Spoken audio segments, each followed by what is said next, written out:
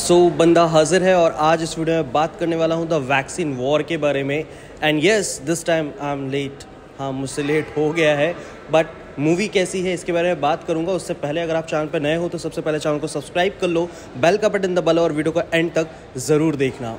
सो so, सबसे पहले बताना चाहूँगा कि इस मूवी को देखने के बाद मैं विवेक अग्निहोत्री जी को भाई थैंक्स कहना चाहूँगा। ये मूवी जो है उनके सारे मूवी से हट करके है लेकिन उनका जो मूवी का स्टाइल है जैसे द टास्क एंड फाइन की बात कर लो या फिर द कश्मीर फ़ाइल की बात कर लो और अभी द वैक्सीन वो भाई ये सारी मूवी जो है एक बताता है इनका पैटर्न है। उस पैटर्न के अंदर में ये है कि बहुत ही रूखा सूखा सा रहेगा और सीधा पॉइंट टू पॉइंट बातें होंगी। मतलब इसमें कहीं पर आपको एक्स्ट्रा ड्रामा या फिर कोई रोमांस या फिर लव एंगल या फिर कोई song item song love song या किसी भी तरह के भक्ति वाले गाने नहीं मिलेंगे।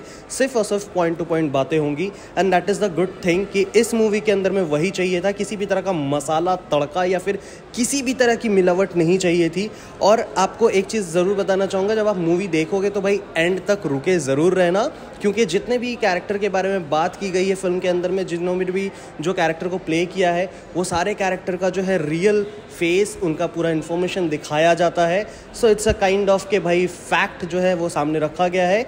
और इसके अंदर में आपको कोई भी हिंदू मुस्लिम वाला एंगल नहीं मिलेगा। This time the nation and the media भाई मीडिया को लेकर के मेरे भी भाई बहुत सारे मतलब सवाल रहते दिमाग में कि आप इतने सारे नफरत लाते कहाँ से हो? और कैसे करके बेच देते हो यार? और आप पे कोई सवाल क्यों नहीं उठाता है?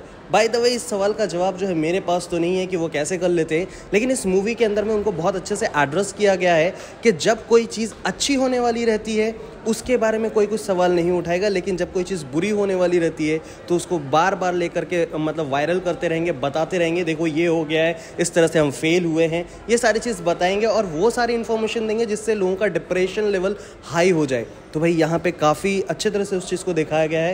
And the Nana Patekar after twenty six eleven छब्बीस ग्यारह मूवी के अंदर में जिस तरह से वो एक ऑफिसर का रोल प्ले किए थे, यहाँ पे एक साइंटिस्ट हेड का रोल प्ले कर रहे हैं। और इस बार भी जो है उन्होंने खुद को जनरल बुलाया है।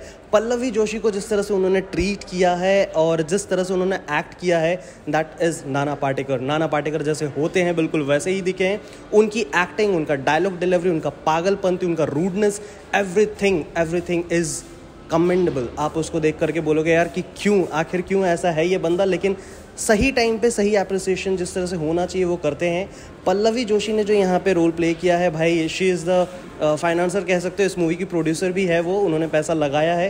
सो so, उनका भी परफॉर्मेंस बहुत ज़बरदस्त है। यहाँ पे नेगेटिव रोल में आपको रायमा सेन देखने वाली है। और उनका जो रोल है boss as a media person है। और जिस तरह से उन्होंने सारी चीज़ों को की है भाई वो चीज़ दिखाना ज़रूरी था वैसे ही रहते हैं।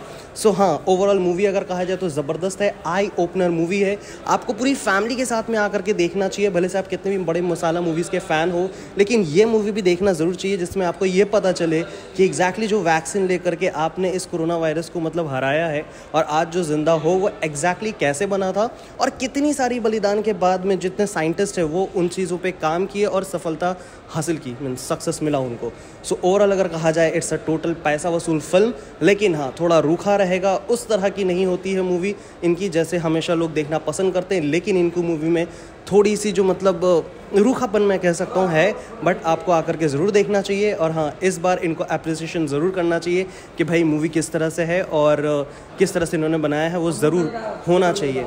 तो आप बताओ, आपने अगर देखा तो आप बताओ मूवी कैसी लगी है। मुझे जैसा लगा मैंने अपना ऑनेस्ट रिएक्शन दिया है।